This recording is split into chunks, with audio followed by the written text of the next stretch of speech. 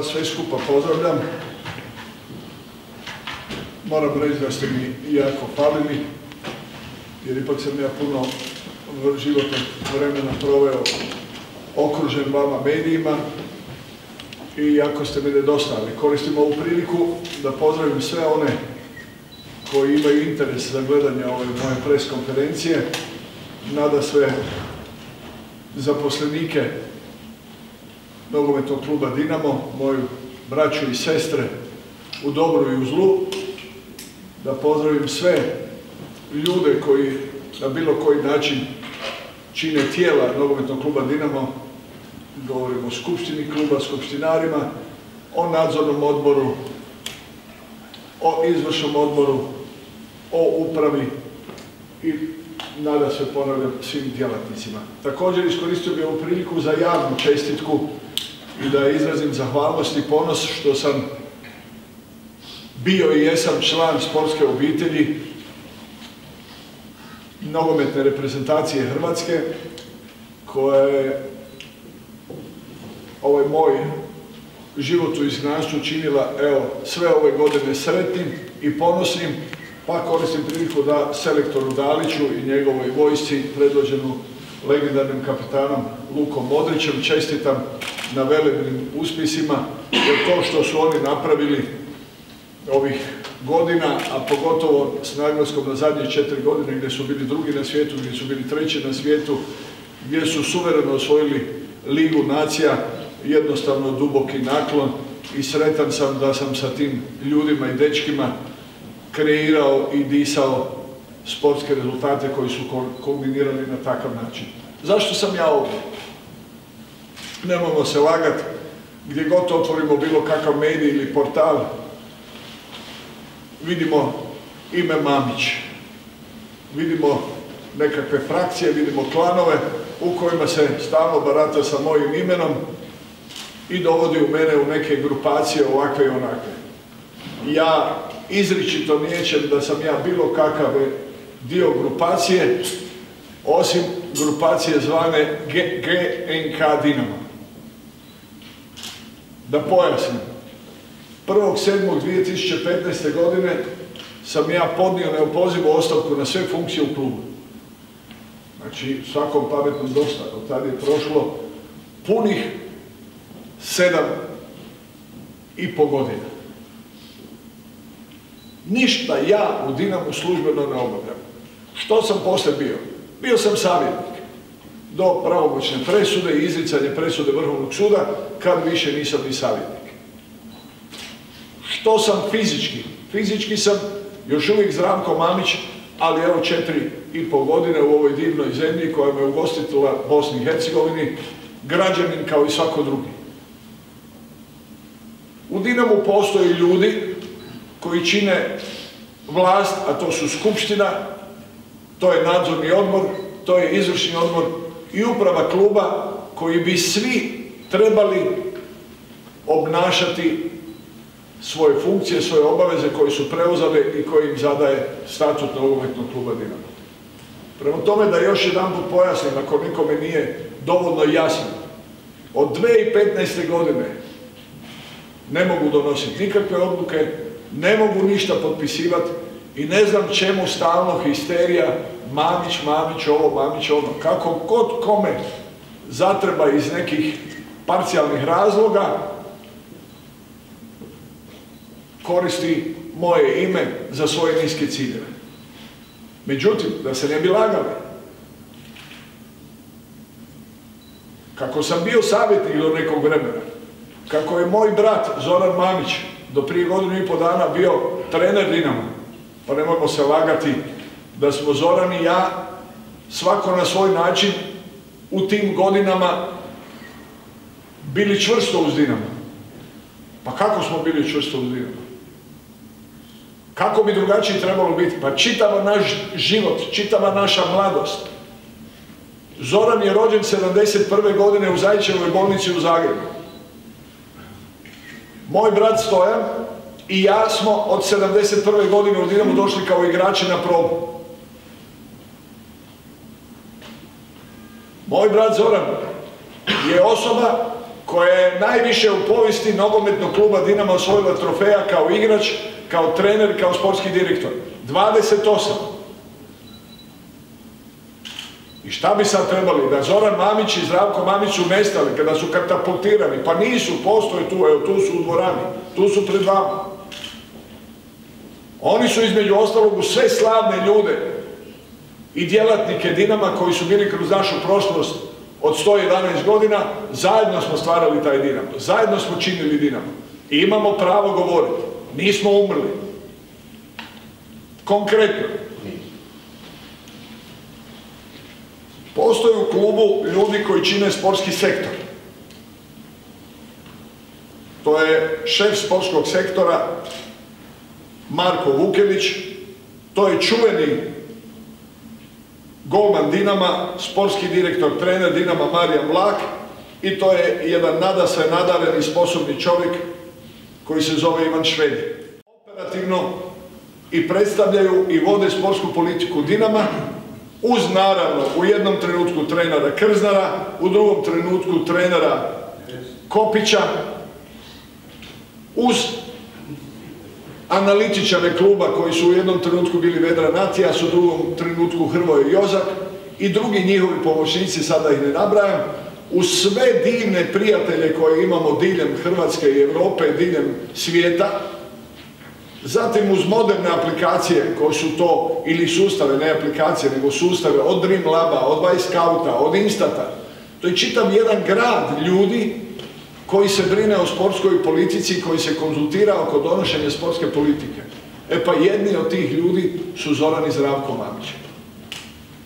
Prema tome, ti ljudi su donesli odluku da dođe Šutalo u Dinamo, da dođe u Dinamo Bočkaj, da dođe u Dinamo Drmić, da dođe u Dinamo Ljubičić. Prema tome, a sve je to realizirala službena i oficijalna politika kluba, konkretno uprava kluba.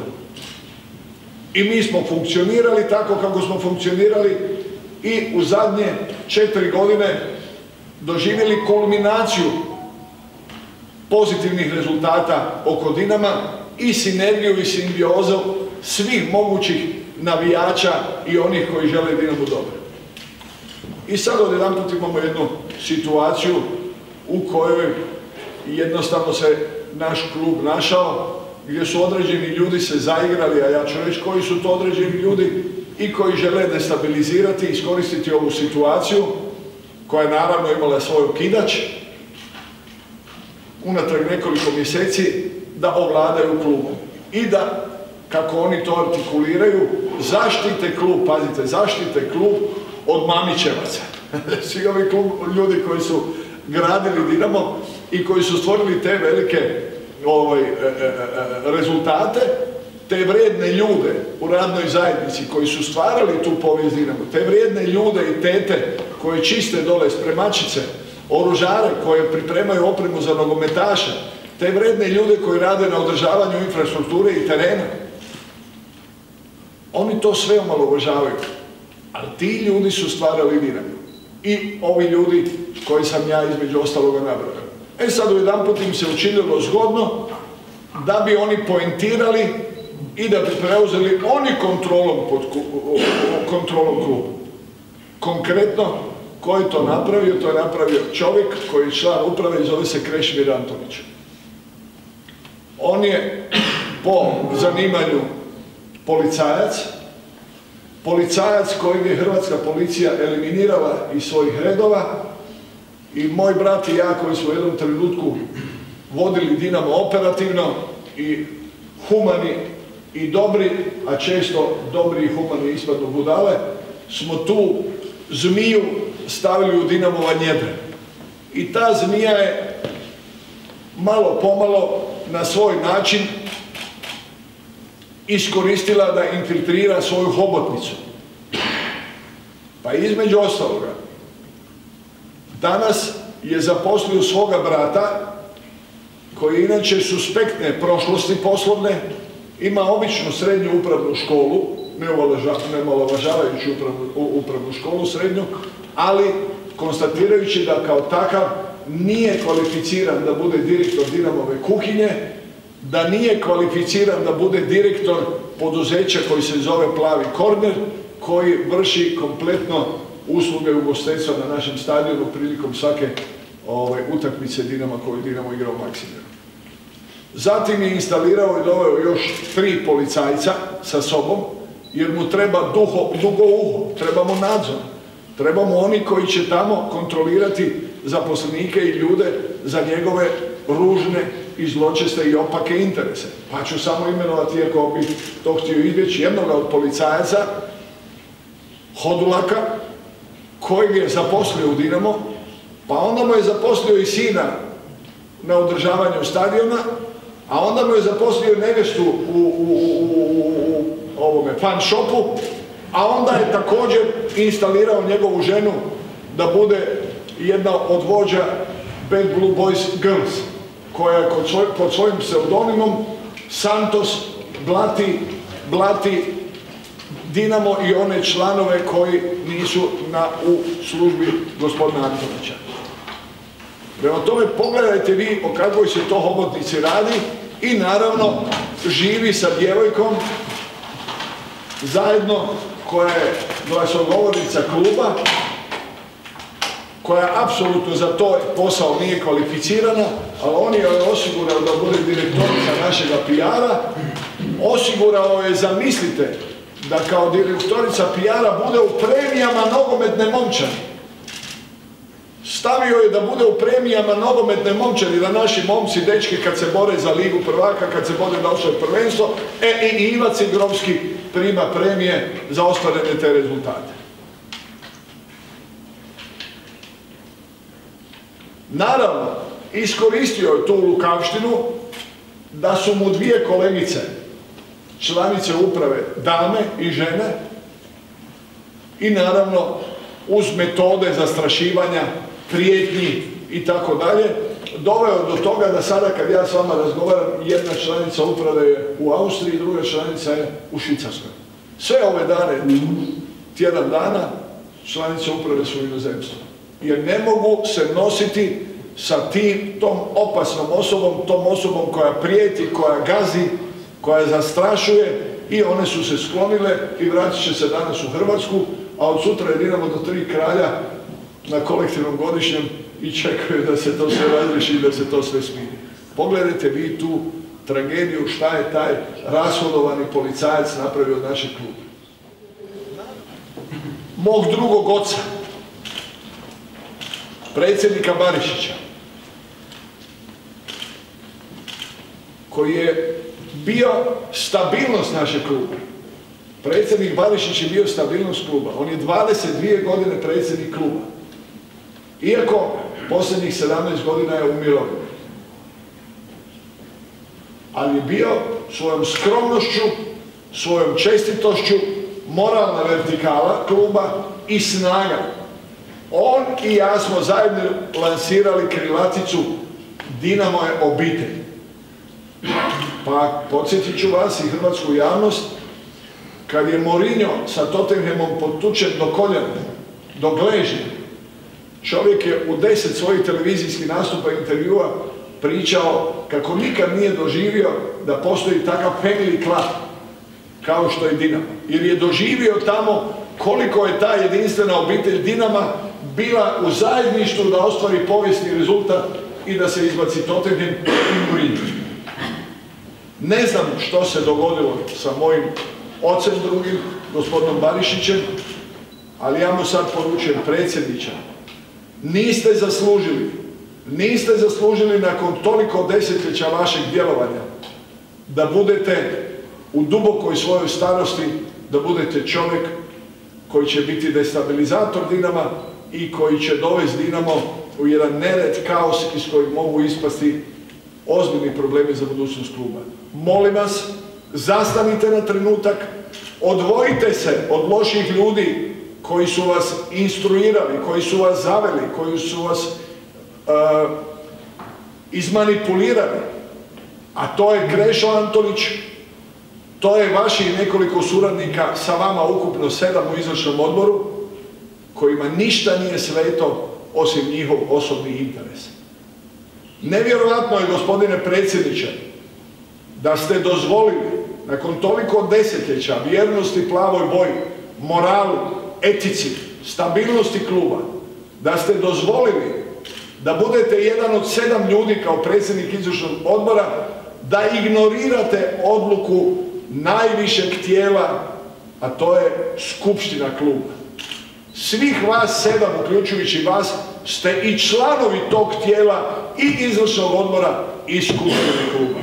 Kako je moguće da vi kao članovi izvršnog odbora i članovi skupštine kluba i vi kao predsjednik ignorirate odluku najvišeg tijela skupštine i da zloupotrebljavate Dinamo statut, to jest Dinamo ustav po kojem se svi moraju ponašati i djelovati.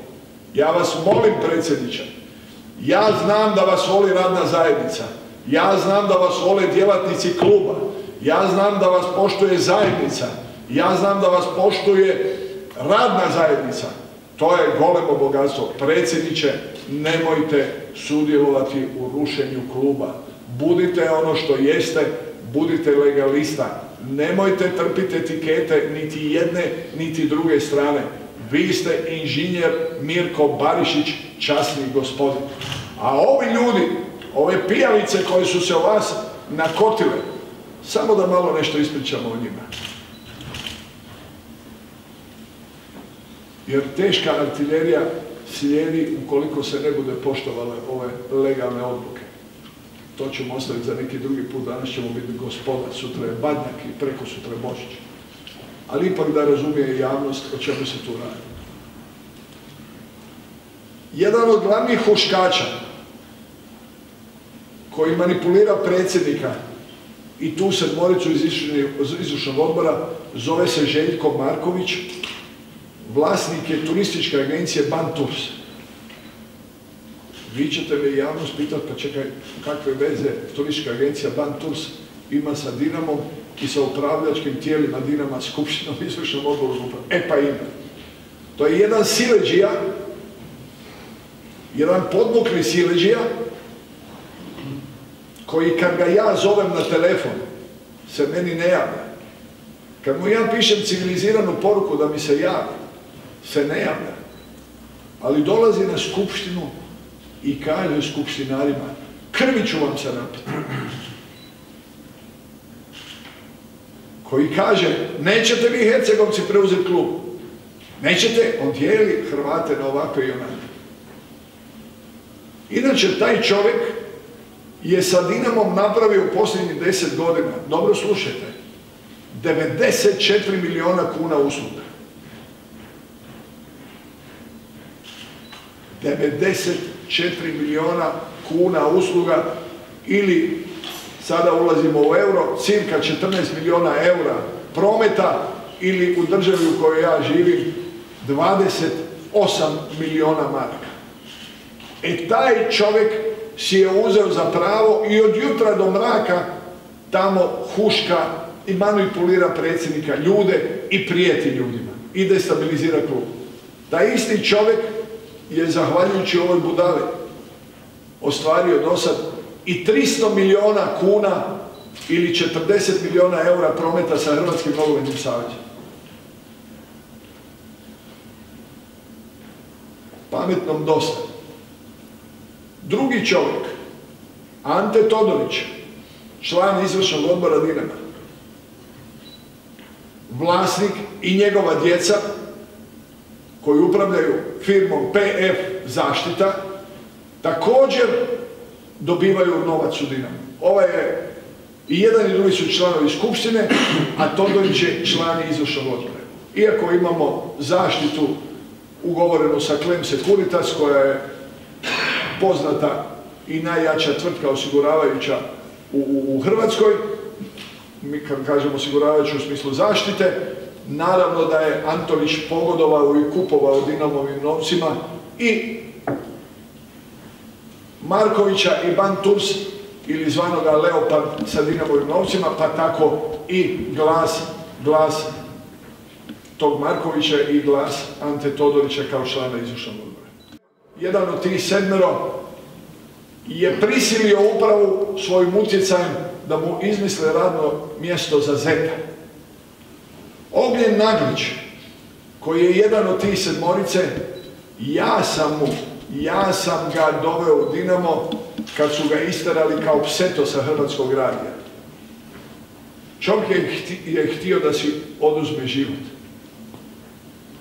Otišao je tamo kao pseto, otjerali su ga, otišao u mirovinu i ja sam ga onda kao radio reportera koji je prenosio utakmice Dinama i sportskih događaja doveo u Dinamo i kako je bio u mirovini ja sam ga plaćao cijelo vrijeme nekoliko godina 2000 eura mjesečno iz svog džepa. E ti ljudi, ti ljudi, uključujući taj Antolić, koji stvara svoju hobotnicu, pa mu je brat, ponavljam, direktor plavog kornera, pa mu je brat direktor kuhinje Dinama, pa mu je djevojka s kojom živi šefica pijana i glasnogovornica, koja svaki dan, by the way, laže putem vas, laže hrvatsku javnost. Jer ona je ta koja dnevno pušta more lažnih informacija i more lažnih tekstova da bi se destabiliziralo i da bi Dinamovu logistiku i poziciju na kojoj sjedi blatilo upravo njen klub. I zato molim zaposlenike, izbacite ih na glavačke. Izbacite ih prijatelji dragi koji ste gradili s menom Dinamo, izbacite ih na glavačke. Jer ti ljudi koji ne poštuju statut kluba, koji ne poštuju skupštinu kluba, koji ne poštuju jučerašnju odluku nadzornog odbora. Pazite, jučer se sastao nadzorni odbor. To su tri doktora profesora. Na čelu sa predsjednikom nadzornog odbora gospodinom Mirom Rožićem, doktorom Polakom, doktorom Menigom. Ta balavica Ivan Cigrovski, nakon što predsjednik nadzornog odbora jučer traži da se održi sjednica, da im se nađe prostor u klubu, to odbije.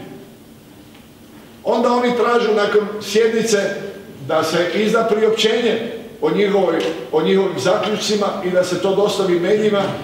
Ta osoba njima to zabrani.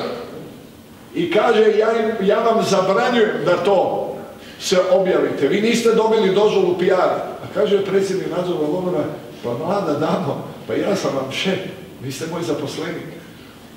Dokud je taj bahatluk i zamjena teza došla? Naravno nije objavila u toj, to u običajnim kanalima odluku nadzornog odbora, nego su ljudi to primijetili tek naliče u 9.10 da ona to nije dala, upravo je rekli smo u inozemstvu, i van men show u klubu Krešo Antonić i Iva Cigrovski.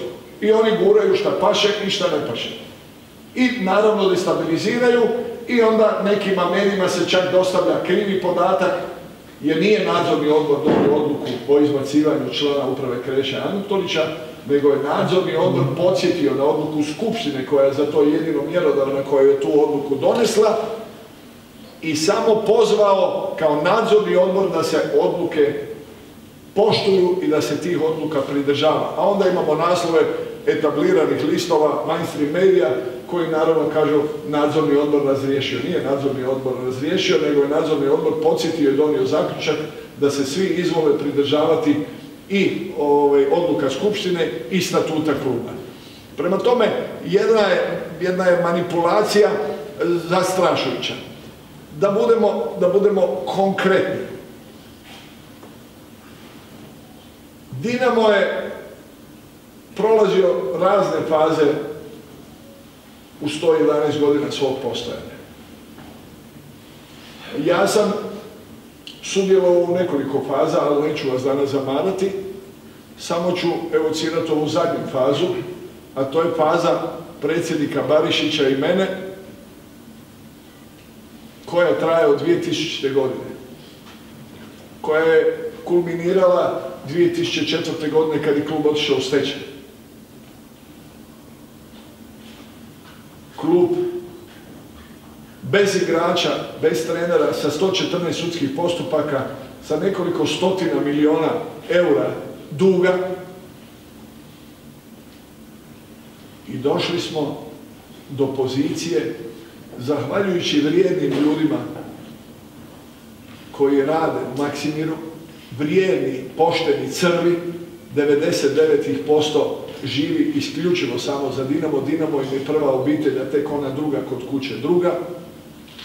Doveli smo do pozicije 29. kluba u Europi. Ovog časa kad ja sjedim pred vama, Dinamo je 29. klub u Europi.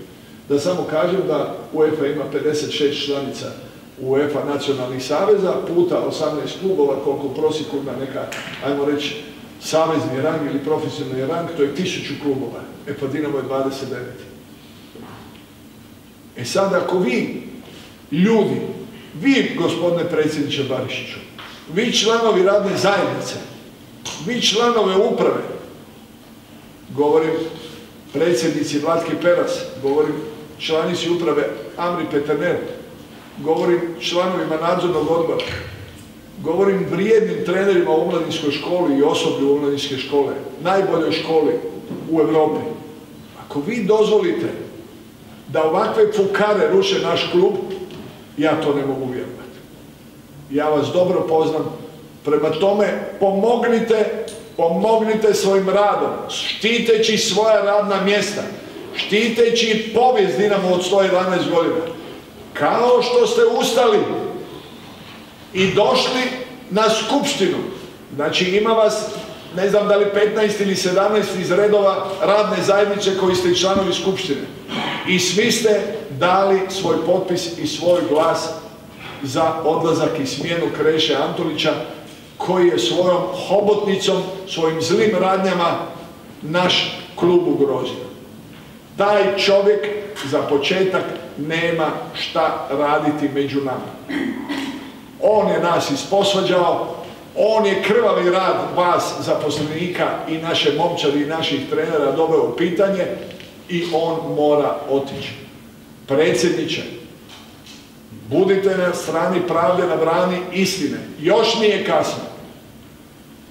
Iako se ne može odreći vaša uloga predsjednika u destabilizaciji kluba. Ali nemojte si to napraviti, nemojte svom imenu i prezimenu napraviti, jer vi ste jedan skroman, častin čovjek koji voli Dinamo, ali su vas predsjedniče izmanipulirali. Lagali su vas, a jučer ste bili na sastanku koji su vas ponovo nagovorio Kreša Antolić, gdje ste pozvali zaposlenike koji su članovi skupštine želeći na taj način izvršiti pritisak. Naravno da imam informaciju da kad ste vi razgovarali niste prijetili, bili ste normalan čovjek kao što vi i jeste. Međutim, nemamo se zavaravati, svi su oni znali zašto je taj sastanak razvan i što bi trebali činiti.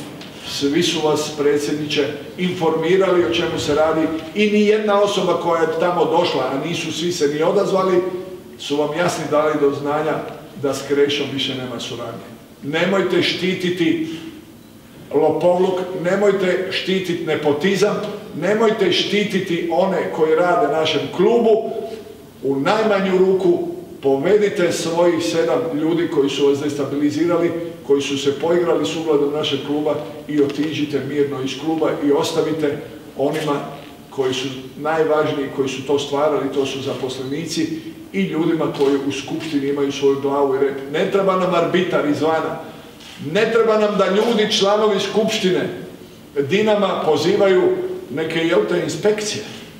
Sportske inspekcije. Šta bi se radile sportske inspekcije? Zato jer je šef sportske inspekcije prijatelj od ovog jednog bunđije Hanžela.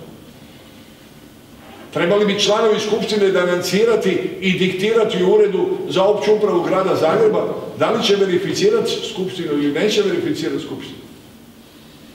Pa neka naprave to sve. Neka to naprave. Ja vas sad informiram predsjedniče, imam informaciju. A ja nemam informaciju, ja ne mislim, ja znam. Prikupljeno je više potpisa nego što je bilo za prošlu skupštinu. Prikupljeni su potpisi i bit će vam uručeni za sazivanje izvanredne skupštine. Priznali vi ili ured ovu skupštinu koja je održana ili ne, čeka vas izvanredna skupština, gdje će vam skupštinari koji vole Dinamo, koji će preuzeti odgovornost za Dinamo, čekaju vas zaposlenici u radnoj zajednici, ne možete proći. Osramotili ste ime Dinamo, poigrali ste se sa slavnom prošlosti Dinamo, iako ovo je samo jedna obična kriza, jedno zujanje komarca, jer Dinamo je takav sustav, gospodo, bili Mamići u Bosni i Hercegovini, bio Barišić predsjednik ili ne, bio trener ovaj ili onaj, igrali igrači ovi ili oni, Dinamo je postao takav uređeni hrvatski, europski sustav koji je pobjednik na svim poljima. I to će tako i ostati. Mogao bi pričati još satima, nema potrebe. Badnjak je sutra, Božić je sutra.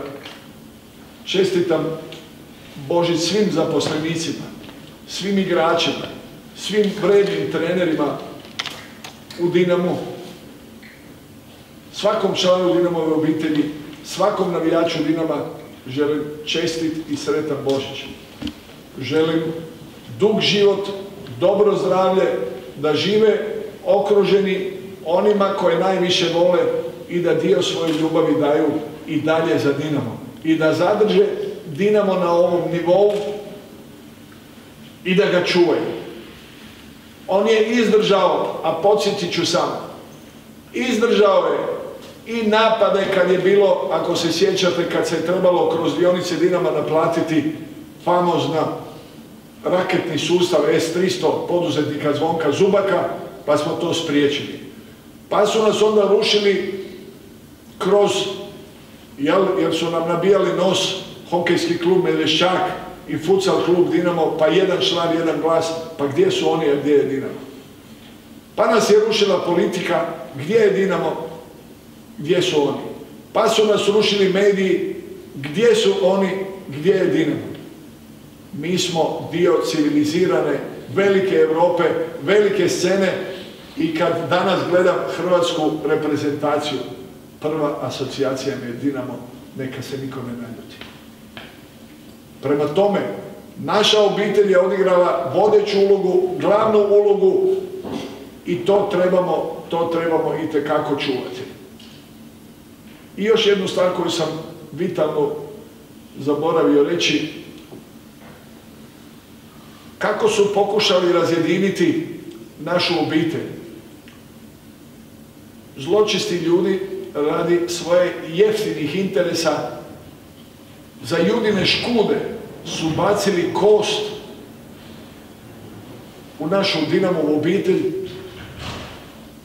gradnju stadiona.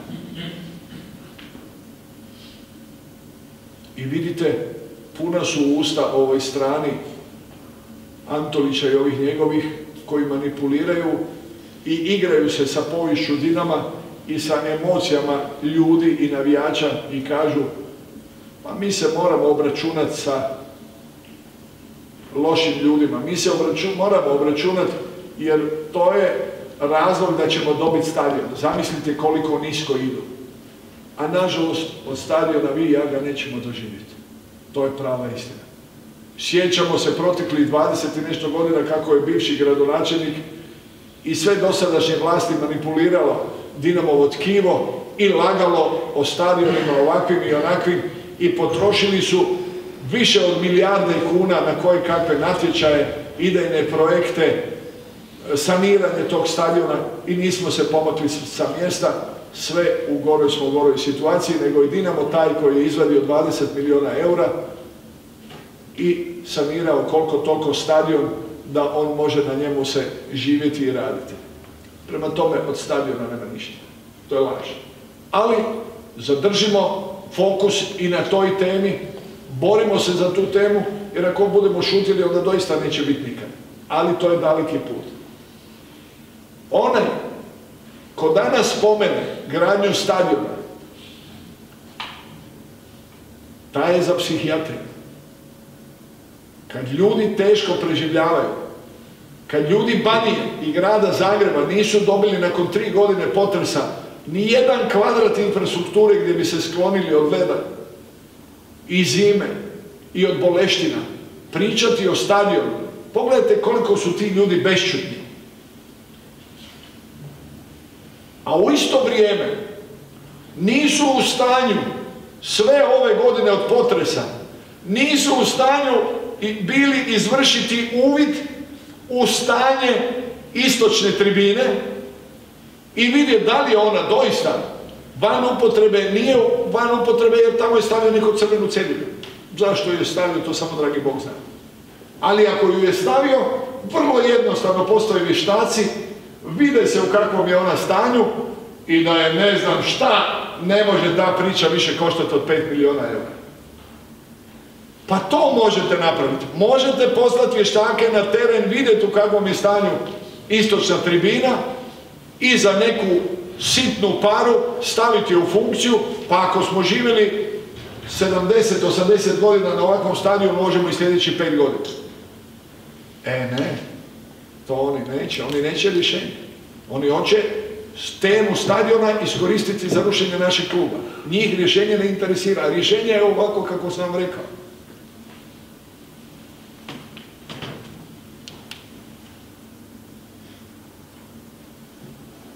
Evo, čisto radi pojašnjenja, još jedan put vama se zahvaljujem, pozdravljam sve skupa, želim čestiti sretan Božić i znajte da se nadam da neću morati isukati najjaču artiljeriju koja je razumna. Pokušao sam danas dati svoj doprinos u oči Božića da prevlada razum, da prevlada argumenti i da naš Dinamo ide kao obitelj u budućnost. Hvala svima i doviđenja, neka vam je sretno. Živimo.